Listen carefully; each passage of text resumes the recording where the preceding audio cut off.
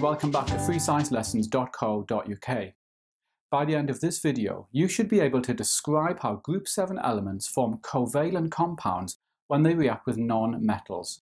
You should then be able to describe how group 7 elements form ionic compounds when they react with metals. In the last video, we started looking at group 7. This is also called the halogens, and we find this group on the right of the periodic table. This tells us that the halogens are all non-metals. We saw that group 7 elements have got 7 electrons in their outer energy level, and we can see that here with fluorine and with chlorine. This means that as elements, group 7 form molecules with two atoms joined by a single covalent bond. I'm showing you that here with fluorine. You can see that two fluorine atoms form a single covalent bond, and we now call this a fluorine molecule. All of the group 7 elements form molecules like this with two atoms joined by a single covalent bond. We can see them all here. Now here's a key fact that you have to learn. Group 7 elements form covalent compounds when they react with other non-metal atoms. So Here's a chlorine atom reacting with a hydrogen atom. Remember that hydrogen is a non-metal. Both of these elements need one electron to complete their outer energy level. They do this by forming a single covalent bond like this. So this is a covalent compound and it's called hydrogen chloride.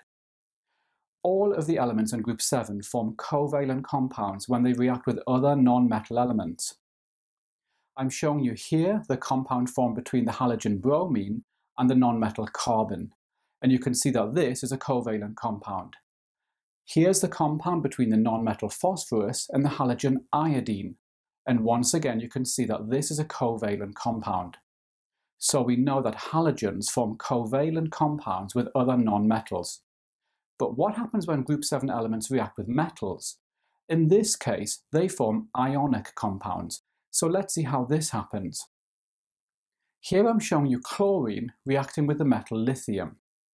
Lithium has one electron in its outer energy level, and chlorine's got seven electrons in its outer energy level, just like all the other halogens. At this stage, the chlorine atom has got 17 positive protons and 17 negative electrons, so it's got no overall charge. When group 7 elements react with metals, they gain an electron from the metal atom, like this. This chlorine still has 17 protons, but now it has 18 electrons, so it has an overall minus 1 charge. We call this a chloride ion, and we can write it like this. When any group 7 element reacts with a metal, the group 7 element gains one electron and forms a 1 minus ion, so we can see the different group 7 ions here, and you can see that they all have a 1 minus charge.